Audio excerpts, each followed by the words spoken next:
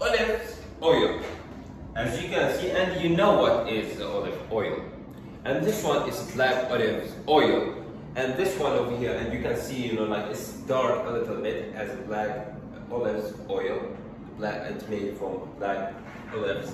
And here, over here, it's made from the green olives, as you can see. And if you take an oil, olive oil, and make it wait for year, let's say for example, it will be like this.